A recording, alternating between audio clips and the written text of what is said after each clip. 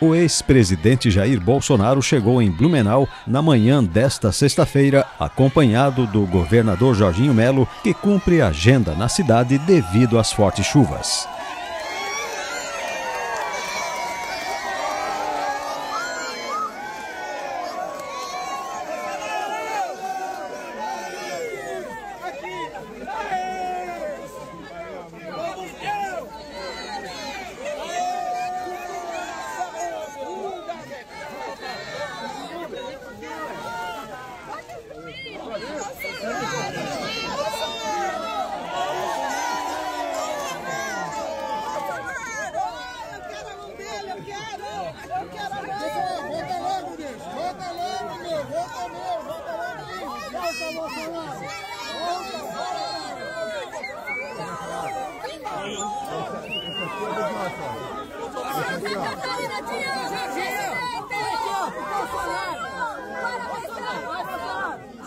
chapéu aí, ó.